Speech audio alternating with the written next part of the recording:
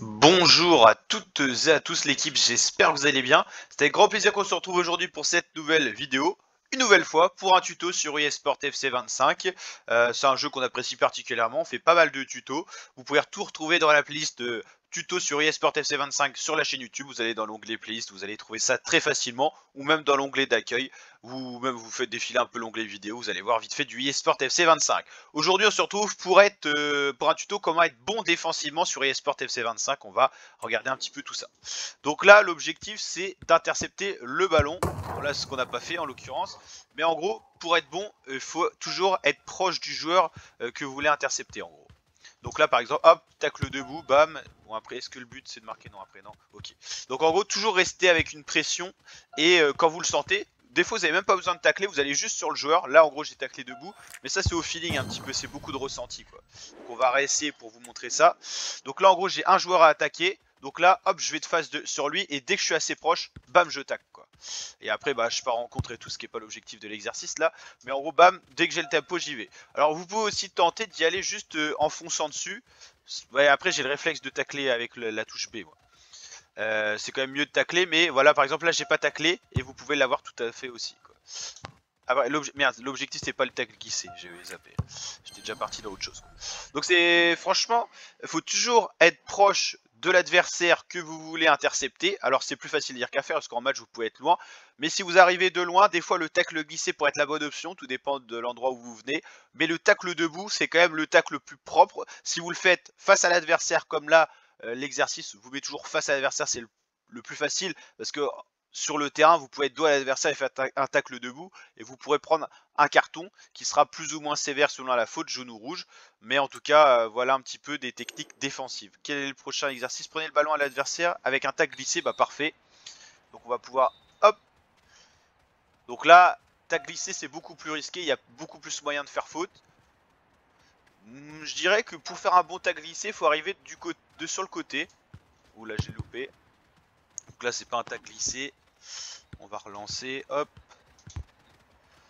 Ouais, après là, Rudiger, c'est un très bon défenseur, donc il fait quand même des tacles plutôt propres.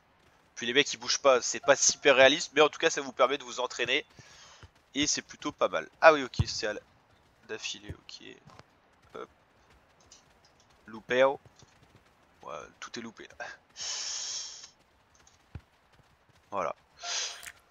Bon, t'as glissé, euh, je les évite quand même au maximum, je les fais que quand je le sens, c'est pareil, c'est une histoire de ressortie, parce que c'est très risqué, vous pouvez concéder des fautes assez facilement. Alors soit vous concédez une faute, il n'y a pas de, carton, mais la faute est près du but, donc il y a des coups francs intéressants pour l'adversaire, donc c'est risqué. Euh, soit c'est dans la surface de réparation et un tag glissé loupé, c'est vite fait le penalty. Ça peut être carton rouge, rouge voire carton jaune, donc euh, ouais, il faut faire gaffe quand même. Qu'est-ce qu'on a comme exercice? Est-ce que ça sera encore de la défense? Ouais, parfait. Donc là, l'objectif, c'est quoi? Ok. Faut que je le prenne quand je suis dans la zone. Tacle debout, moi, c'est ce que je trouve le plus... Le mieux. Ah, bah, par contre, quand il passe la zone, du coup, t'es foutu, quoi. Ok. Donc, faut savoir encore dans quelle zone il va aller, quoi. Voilà, ok. Donc là, ça vous faire en même temps sélectionner les joueurs, changer de joueur euh, par contre, ouais, ok. Voilà, quand vous le sentez, en fait, c'est beaucoup de ressenti la défense. Hein. Quand vous le sentez, vous pouvez tenter le tacle glissé. Ah putain, il est passé dans l'autre zone. Ça, c'est. C'est un bon entraînement, hein, parce qu'il faut calculer dans quelle zone il va aller. Et puis il change. Euh, après, si tu prévois un peu, voilà.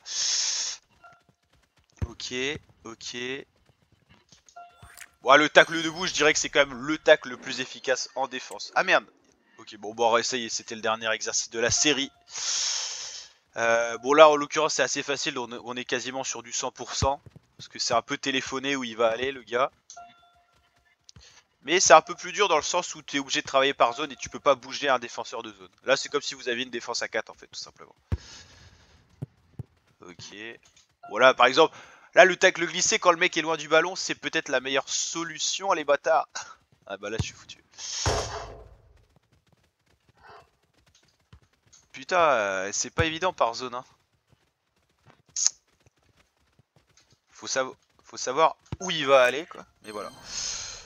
Ouais, franchement, la défense, c'est pas si dur que ça. Il y a eu des FIFA beaucoup plus durs. Et celui-là, franchement, eSport FC 25, c'est euh, maîtrisable.